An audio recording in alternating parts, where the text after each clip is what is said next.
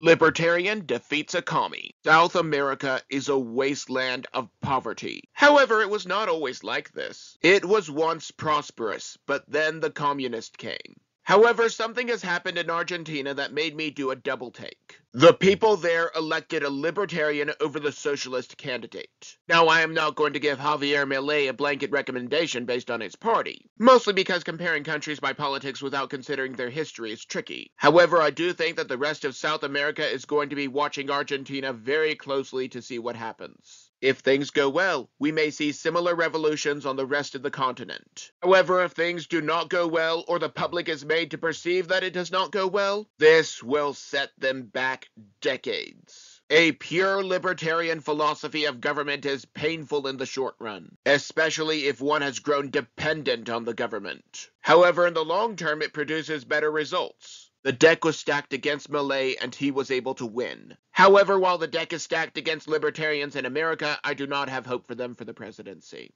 While I despise voting for the lesser of two evils, the deck is stacked against them in the very election cycle. Maybe if the Republican Party wins enough public support, the Democrat Party will fade away and the Libertarian Party can replace them. One can only hope.